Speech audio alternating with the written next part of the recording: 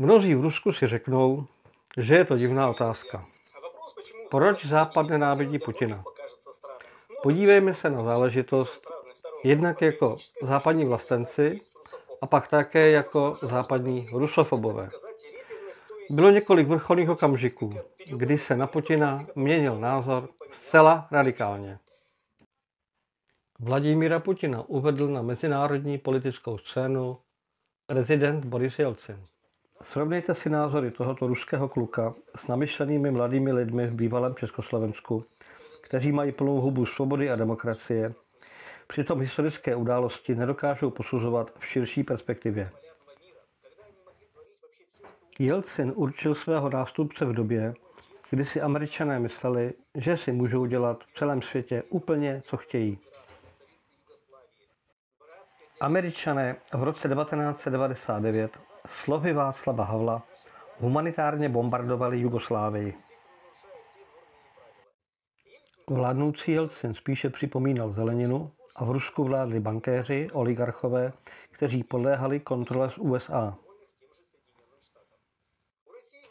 Rusko nemělo autoritu, dokonce žádalo na mezinárodní scéně o potraviny.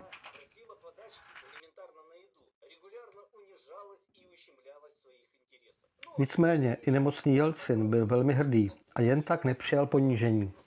Za svého nástupce nevybral liberála, který by ohýbal hřbet před americkým pánem, jako třeba Němcova, ale člověka způsobného vrátit zemi čest.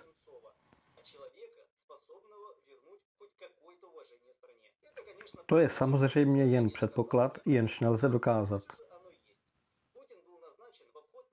Jelcin dle otajněných rozhovorů přesvědčil Clintona, že Putin je dobrý člověk, demokrat, který zná Západ.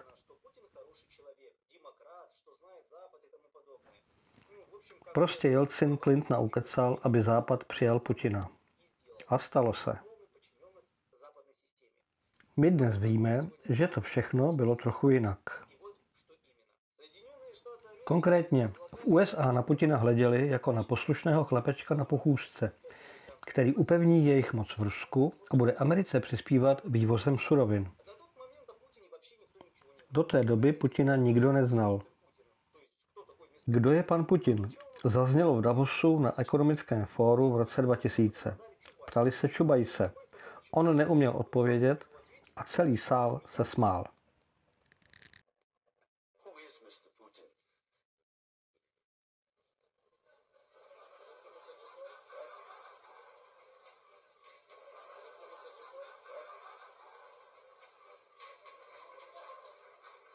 Mimochodem, dnes už se v Davosu nikdo nesměje. Jak víme z dob československé privatizace, kdy se rozdávaly téměř zdarma naše podniky na západ, Americe a jejím spojencům jde o peníze až v prvé řadě. Putin se v roce 2000 pokusil ovládnout centrální banku. Okolo nového zákona dávno všechno vřelo.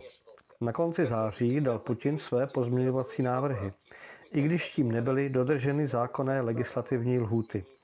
Parlament se vůči tomu neohradil. Důvod byl jediný. Znárodnit centrální banku.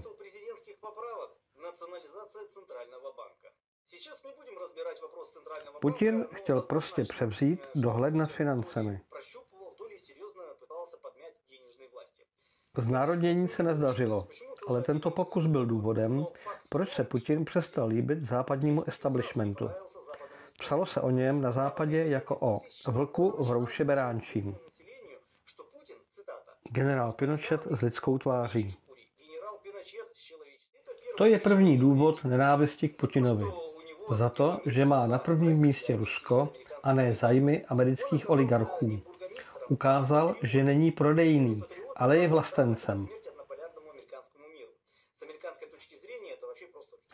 Je až s podivem, jak je Putin chytrý. Nezačal jako revolucionář. Otevřeně nebyl proti USA. Naopak se jevil jako přítel tzv. rozvinutých zemí. Mluvil o přátelství, o míru.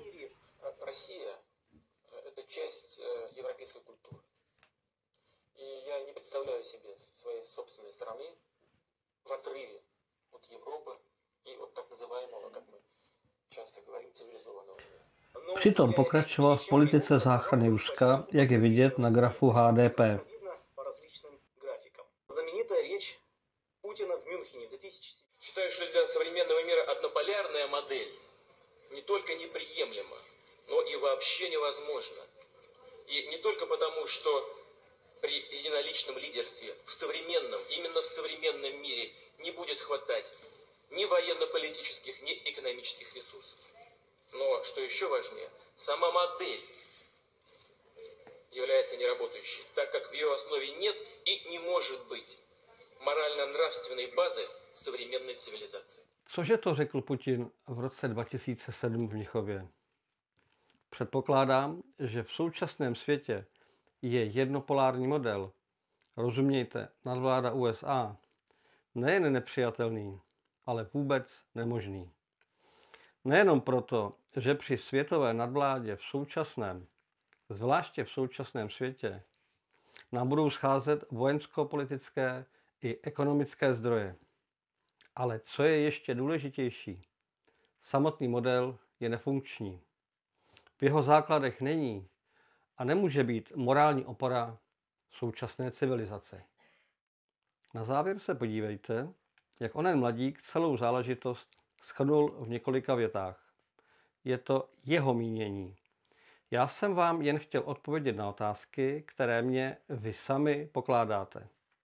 Jak se běžní Rusové dívají na svého prezidenta, jak ho hodnotí a co si o něm myslí. Chtělo by to dát tomu celkové zhodnocení. Za všechno můžeme my. Jen proto, že elity západu chtějí jíst.